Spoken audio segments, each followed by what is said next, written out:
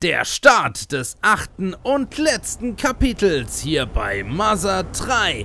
Willkommen zurück. Und wer fährt da jetzt mit seiner Limousine vor? Vor dem Tempel, in dem wir die vorletzte Nadel ziehen konnten. Meister Lukas, ja. Unser großer Anführer und neuer König der ganzen Welt, Meister Porky, lädt Sie herzlich in die großartigste Stadt der Welt ein, New Pork City. Ich werde Sie in dieser Stretch-Limousine hinbringen. Steigen Sie bitte ein. Nein! Wo Meister Porky lebt, gibt es kein Nein. Also, was wollen Sie tun? Sie gehen rein, oder? Meister Porky, New Pork City. Ja, das ist die Smash Stage, die nennt sich schon so. Das war ein massiver Spoiler. Wird mir immer mehr, be mehr bewusst, wie spoilerisch Smash Brawl eigentlich war in Bezug auf Mother 3. Ähm, Porky, Moment mal. War das nicht der Nachbar von Ness in Earthbound in Mother 2? Doch, ganz genau. Manchmal hat, hat, manchmal hat man ihn Poké genannt. Und ich glaube, auch in meinem Earthbound Let's Play nannte ich ihn Poké, weil ich halt dachte, das wäre eher ein Name, so wie der Kaktus von Mario. Aber Porky macht mehr Sinn, wegen, auch jetzt wegen Schweinemasken. Pork, ihr wisst Bescheid. Ja gut, dann äh, gehen wir mal mit, ne? wir haben keine Wahl. Es gibt kein Nein. Das, äh, aber aus welchem Grund? Das frage ich mich halt.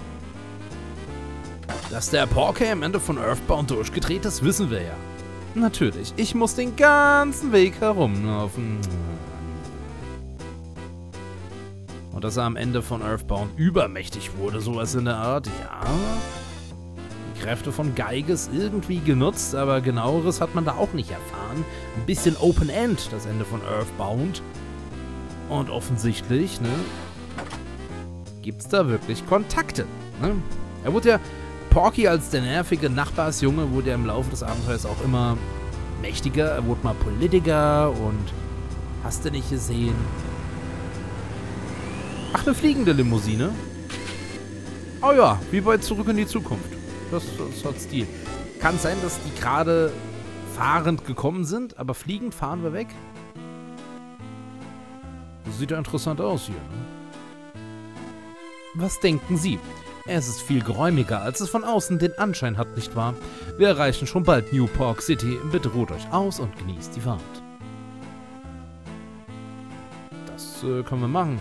Möchtest du auf dem Beifahrersitz sitzen? Jetzt nicht. Also ich warte erstmal. Ich, ich werde erstmal ein bisschen was probieren. Übrigens, ich habe ein bisschen gelevelt. Nicht nur das. Das war im letzten Part und ich bin jetzt auf Level 59. Dies, das. Dann machen wir jetzt weiter. Aber das hat auch Gründe. Unter anderem zeige ich es euch. Ich muss meine Items mal wieder managen. Es geht mir nicht primär um die Level, sondern um ein ganz wichtiges Item, und zwar für Kumatora. Die mystischen Handschuhe, die habe ich gleich zwei oder dreimal. Das beste Item, also wenn wir das jetzt mal betrachten, das spawnt auf der Insel Tane Tane. Ich hatte ja noch einen Spielstand, deswegen habe ich den genutzt. Äh, dieser, dieser halb Gorilla, halb was auch immer das andere war. Und das habe ich geholt. Wenn ich jetzt mal gucke, ich habe die stachelige Waffe gehabt, ne? Und wenn ich von der stachelige Waffe auf die mystischen Handschuhe gehe, seht ihr das? 10 hoch bei der KP, 10 bei PP, nochmal Angriff hoch, Intelligenz hoch, Geschwindigkeit hoch. Das ist ein gutes Item, das ist die beste Waffe für Kumatora und deswegen habe ich die bekommen. Geholt. Alles klärchen, Wunderbärchen.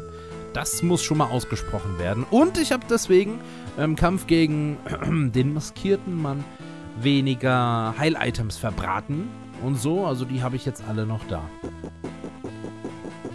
Also so Limousinen sind ja tatsächlich geräumiger, als man manchmal glaubt. Äh, einer dieser bekannten Champagner-Türme. Champagner. Wenn man genau hinsieht, ist es nur ein Bild. Es ist nur ein Bild? Stark. Die Champagner-Türme. Ein Blackjack-Tisch. Es ist jedoch kein spielbarer Blackjack-Tisch. Und ich habe einen kleinen Fehler gemacht. Ich habe tatsächlich noch auf der zweiten 0,999 Version des Deutsch-Patches gespielt. Jetzt also die 1,0 Version. Sind wir schon im achten Kapitel, wa? Getränke für Erwachsene sind hier aufgereiht. Es ist ein scharfes, bitteres, widerliches Gift, also dürfen Kinder das nicht trinken. Oh, warte. Erwachsene dürfen das auch nicht trinken. Das ist, äh, da schließe ich mich nahtlos an. hört den Worten des Nintendo. Müssen sie sagen, ne? Weil sonst, ich weiß nicht, was, äh, es gibt keine USK oder FSK in Japan, aber irgendwas anderes, Vergleichbares haben diese sicher. Geh baden! Ich weiß zwar nicht, wie hier in der Limousine das fließ, fließende Wasser zustande kommt. Dann wohl begrenzt, ne? Wie ein bisschen wie im Wohnmobil. Aber das sprudelt halt die ganze Zeit. Ein großes, flauschiges Sofa. Du kannst dich drauf ausruhen. Möchtest du? Das reicht. Yeah, yeah, yeah. Wir lassen es uns gut gehen. Was war das? Was ist das für ein Gefühl? Die sind alle rot gewesen. Waren das Massagesitze? Das würde Sinn geben. Ich finde so Massagesitze eigentlich nicht so pralle. Ein Billardtisch. Die Löcher sind ziemlich groß. Es sieht so aus, als könntest du spielen, aber du kannst es nicht. Naja, wir fahren ja auch gerade. Ich meine, es ist ein Brettspiel. Es sieht so aus, als könntest du spielen, aber du kannst es nicht. Weil ich nicht kann oder weil es nicht geht? Und die Bühne für Karaoke oder was? Eine Bühne. Sieht so aus, als könntest du dort was vorsingen, aber du kommst da nicht mal hoch. Dann setze ich mich auf den Beifahrer. Denke ich mal, da triggert sich's. Generell ist das nicht erlaubt. Alle müssen sitzen. Auch wenn ihr im Wohnmobil oder Wohnwagen fahrt. Ich glaube, Wohnwagen darf man nicht mal beim Fahren drin sein. Ne? Ja, da ist sie. Sagen Sie Hallo zur New Park City. Schon wieder so ein Turm. Ein ziemlich stacheliger Turm. Da könnte glatt Bowser gehören. Ja, also die Soundtracks werden mir seit geraumer Zeit mit diesem Porky-Theme weggeclaimed. Ich verdiene quasi nichts mit meinen Mother 3 Parts. Keine Ahnung, warum und wie. Aber was soll's. Da mache ich jetzt auch mal keinen dicken. Ja, also so reinste Vergnügungspark, ne? So ein Wikinger-Schiff und hier... Naja, soll es ein Riesenrad darstellen? Ich kann es nicht ganz zuordnen. Eigentlich nicht, ist viel zu klein. Beauty and Tasty. Alter, da kannst du Masken kaufen. Käfersammler kommen auf ihre Kosten. Ich habe keinen Plan. Kapitel 8 alle Dinge.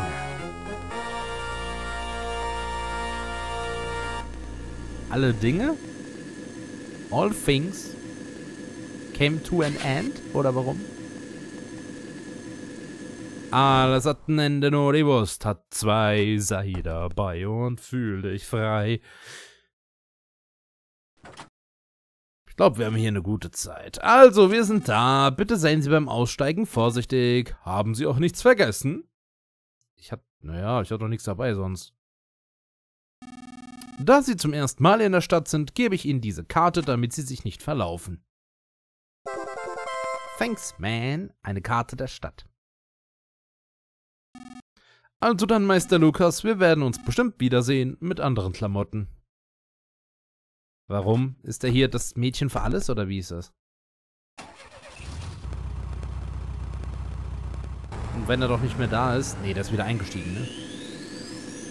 Dachte kurz. Ich, es sah kurz so aus, als würde er weglaufen. Imposant. Nee, ich will aber die Konfrontation. Was will der Meister Porky von Lukas, Kumotora, Duster und Rudi? Willkommen. Ich weiß, Mann. Ich weiß alles über dich. Du bist hier, um New Park City zu zerstören, nicht wahr?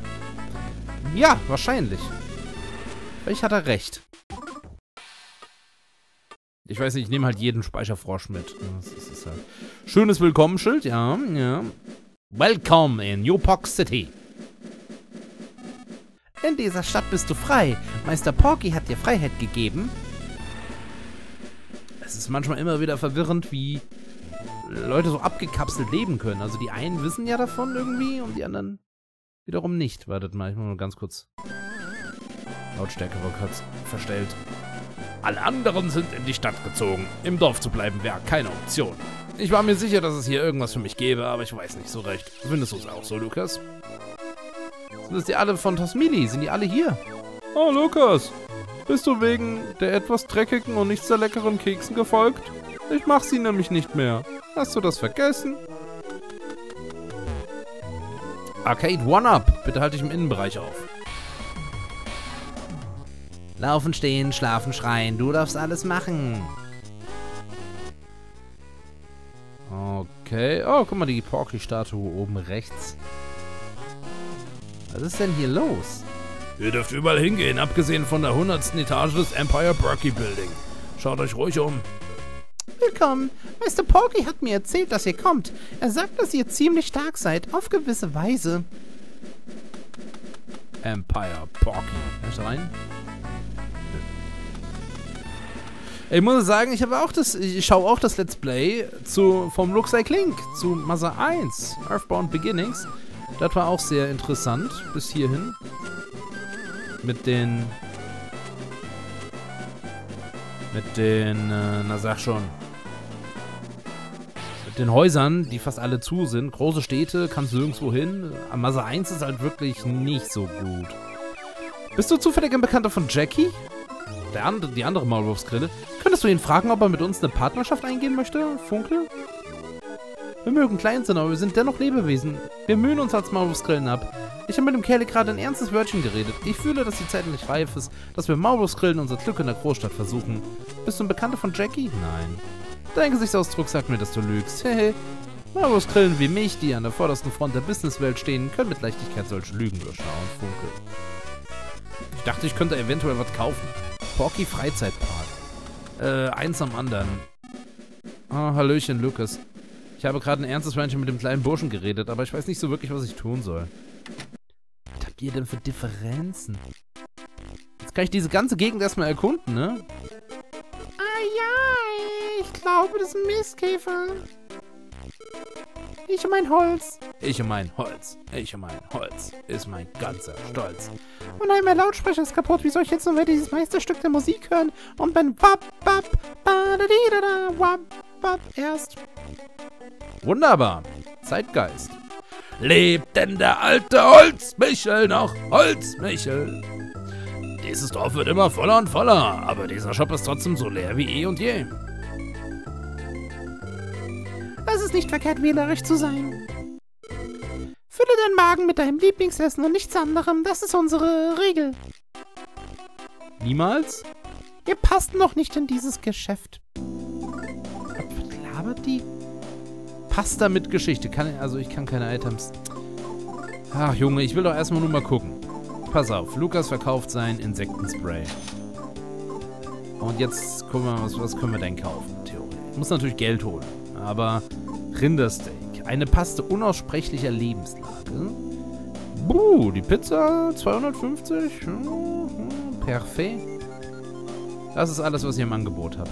An für sich, an für sich, könnte ich ja sogar hingehen. Und ich habe so viel. Warte mal, erstmal. Die geben nur 10? Also ich habe drei von diesen mysteriösen Handschuhen. Wie viel kostet, kostet das nochmal zu kaufen? Viel zu teuer, ne? Okay, es macht also keinen Sinn.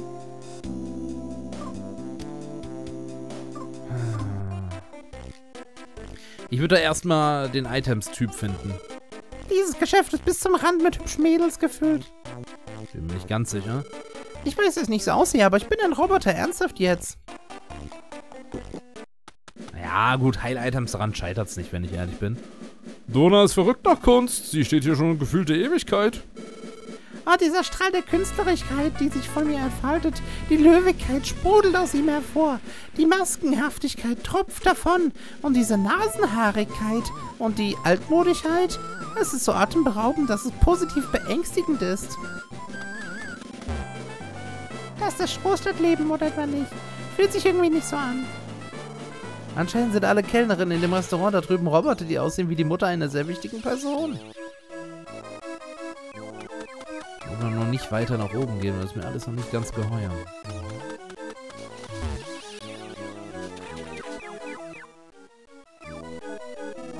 Ich verkaufe gefährliche Sachen. Möchtest du was? Bleistiftrakete, Bombe, Neujahrsbombe. Reduziert die KP aller Gegner auf 1. Könnte aber auch ein Blindgänger sein. Ja, bei Bossen hätte ich gesagt, klappt das nicht. Der klappt nicht bei Bossen. Du kaufst hier nur Hochwertiges, du hast ein gutes Auge. Ich kaufe gar nichts. Ja, bleiben wir bei der Wahrheit. Ist das eine Sackgasse? Aber da geht's weiter nach oben. Hm.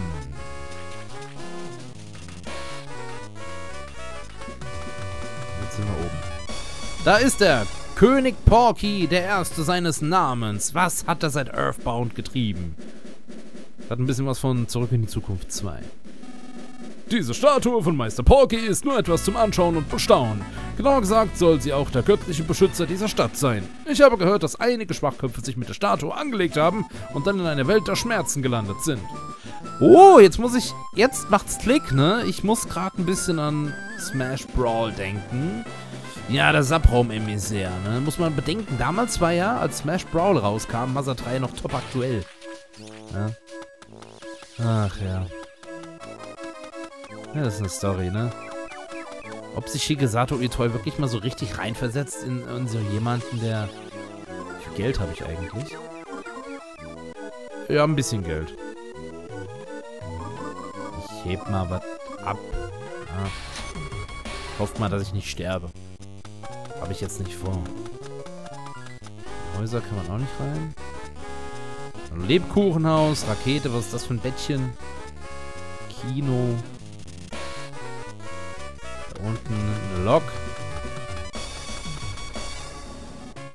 Hey Lukas, ich habe gerade mit Isaac über die alten Zeiten geredet. Er ist heute ein wichtiger Kerl, weißt du? Er hat ein Outfit von einem Schweinemasken-Dude. Lukas, du bist der liebe und charmante Gast, nach dem Meister Porky sucht. Ich bin's übrigens, Isaac. Ich bin ganz groß rausgekommen. Aber Lukas, ich wusste gar nicht, dass du was Besonderes bist.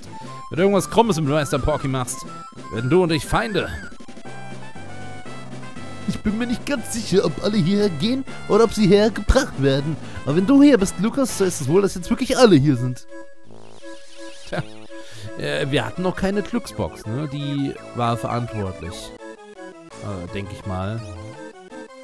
Willkommen. Ich weiß, du kommst vom Lande, aber du solltest ein paar der raffinierten Güter kaufen, die New Pork im Angebot hat.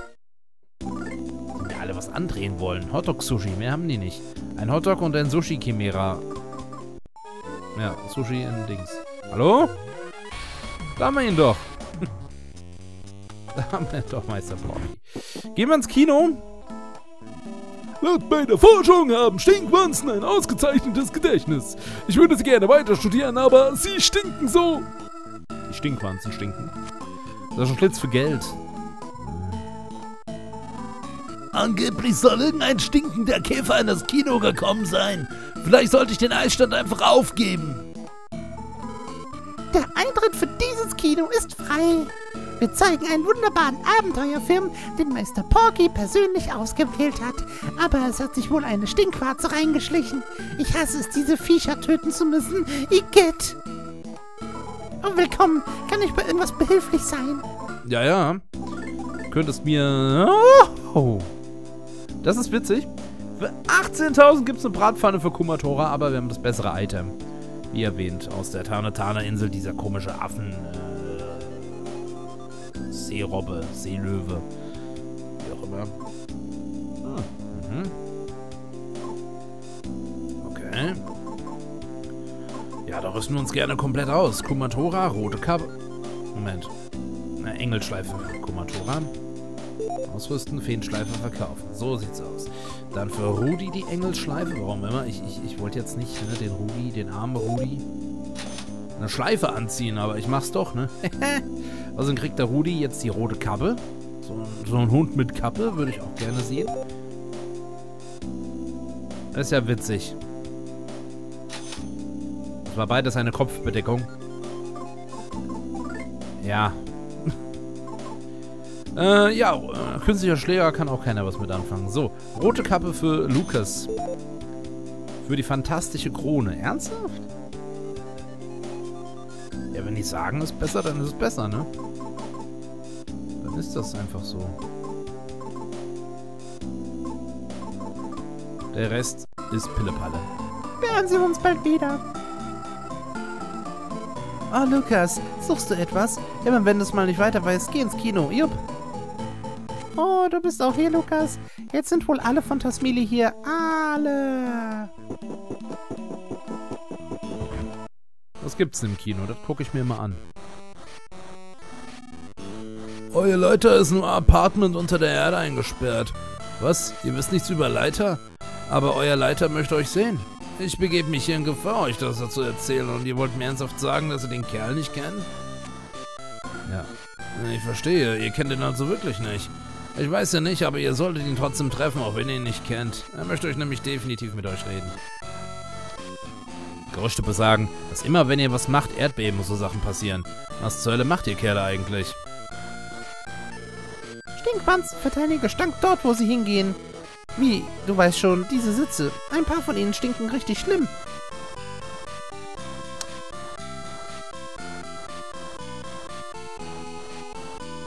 Oh. Tja, jetzt kriegen wir endgültig und eindeutig und auf die Nase gedrückt Verbindungen zum Vorgänger. Jeff, der Affe, Tessie oder wie es hieß. Da war auch ein Boss. Oder war das ein Boss? Großmeister Kotze, Meister Belch. Das Monotoli-Gebäude, das war das, wo Porky der Politiker war. War deswegen dem Komet, der eingestürzt ist am Anfang. Da waren sie, die vier. Kommen mir schon sehr lang weit weg vor, ne? Kommt mir vor, als wäre es einfach 100 Jahre her gewesen. Es gibt ja auch für ein GBA übrigens Masa 1 und 2. Dort kam einfach raus in Japan, dass die ersten beiden Spiele nochmal spielbar waren. Ich denke mal auch diese Sprites und Szenen, die wir da sehen, entsprechen der GBA-Version von Masa 2. Und in dem Trailer dazu, und das gab es auch schon auf YouTube, kam dann so, und ja, wir machen noch Masa 3 für den GBA. Eine Stinkwanze? Hab vorhin eine gesehen. Wo könnte sie hin sein? Ein paar Leute sagen, dass wenn man den Gestank einer Stinkwarze tief atmet, das Gedächtnis dadurch verbessert wird. Wenn das stimmt, dann immer her mit den Stinkwarzen. Ah, dieses Loch im Lautsprecher führt direkt in die Kanalisation. Absolut unglaublich. Also deshalb stinkt dieses Kino immer so zum Himmel hoch. Dieser Ort stinkt. Dieser Ort stinkt überhaupt nicht. Ja, hier halt. Stinkt. Was muss ich machen? Stinkt nicht so sehr. Stinkt. Stinkt. Stinkt. Stinkt extrem. Findest du darunter die Warze? Ja. Ah, der gute Jeff.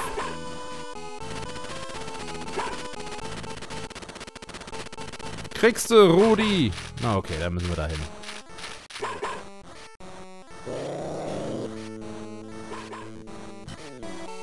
Jeff war übrigens der Sohn. Ich war mir nicht sicher, aber ich glaube, ihr habt mir gesagt, der Sohn von Dr. Andonutz, den wir auch in Masa 3 schon getroffen haben.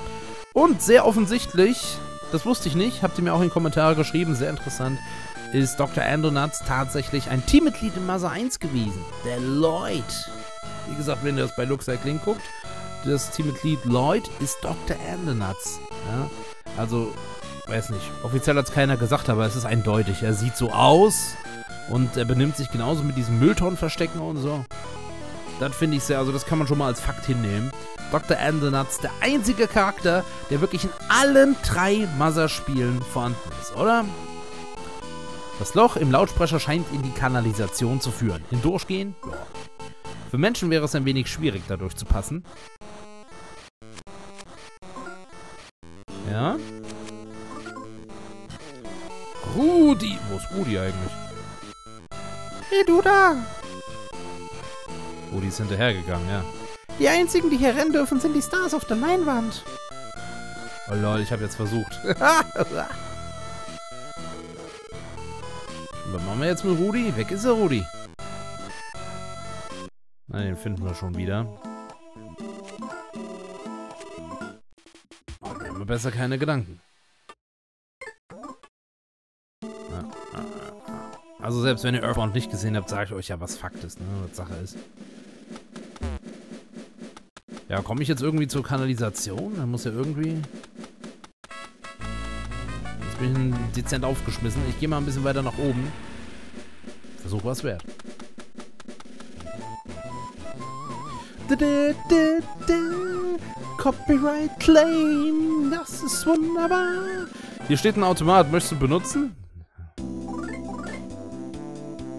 Ah. Ein Stock, der intensive Emotionen hervorruft. Lukas Erhöhung. Das ist jetzt richtig blöde, weil ich hätte es gern mit Rudi erkundet. Meisterstock. Kräftiger Stock verkaufen. Okay. Teure Handschuhe für Kumatora. Handschuhe, wovon andere nur träumen können.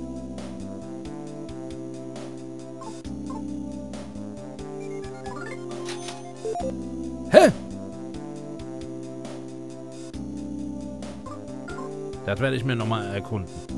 Das ist ja blöd. Gute Schuhe für das da. Plus 70. Stachelige Waffe. Schweres Amulett. Zum Ausrüsten auf den Körper. Gegen das Federamulett.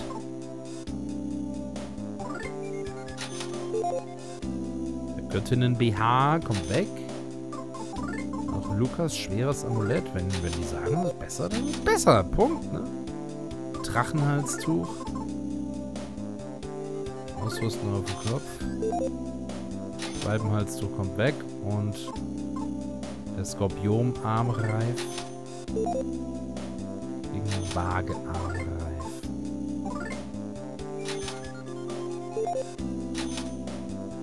Das kann ich mir nicht mehr leisten. Luxuriöse Banane. Oder wie viel?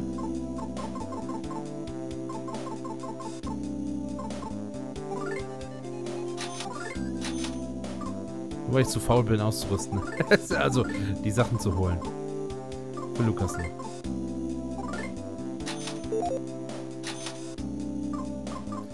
Eigentlich muss man hier mit Rudi nochmal hin. Jetzt weiß ich nicht, wo der steckt. Der Ole Pappenheimer. Wenn man ein Liebesleben mit einer Geschichte... Pff, nochmal. Wenn man mein Liebesleben mit einer Geschichte vergleichen würde, würde ich sagen, dass wir in Kapitel 15 von insgesamt 16 sind. Ich würde überall hin mit Abbott gehen. Auch wenn die Welt nur aus vier Kapiteln bestehen würde, würde ich in allen bei ihm sein. Und das ist der krasse Turm? Da dürfen wir sogar hin? Das ist merkwürdig. Das ist das Empire Perky Building, das Hauptquartier der Perky Corporation. Wag es ja nicht, das mit deinen schmutzigen, klebrigen Fingern zu berühren. Wenn du so nett wärst. das ist das Empire Perky Building. Hauptquartier der Perky Corporation. Also bist du derjenige, der... nein, nein, nein, es ist überhaupt nichts. Beachte mich nicht. Sehe ich etwa wie in einem Sieblerkrebs aus? Oh, Lukas, wir üben nur für unseren Comedy-Sketch. Mittlerweile sind einfach alle hier. Hier kann man seine... Ein, alle, alle, heute habe ich es nicht so. Hier kann man alle seine alten Freunde wiedersehen. Aber denkst du, dass der Tag... Wald! dass Millie und die anderen Worte nun völlig leer sind? Frage mich, was jetzt dort passieren wird. Äh, gute Überlegung. Was wird da passieren? Hm. Rudi nervt mich jetzt ein bisschen, wenn ich ehrlich bin. So, wir können in den Turm, wir können noch weiter erkunden und der Part ist schon wieder gut gefüllt, die ne, 20 Minuten schon locker voll, ja schon fast 30, bis zum nächsten Mal. Dann gucken wir uns hier noch weiter um. War viel Gequatsche, war gutes Ausrüsten dabei. Wir haben im Kino Ness, äh, sag ich mal, wieder gesehen auf der Leinwand, etc. pp. Es wird spannend, es bleibt spannend. Bis zum nächsten Mal, nicht verpassen. Bis dann und ciao!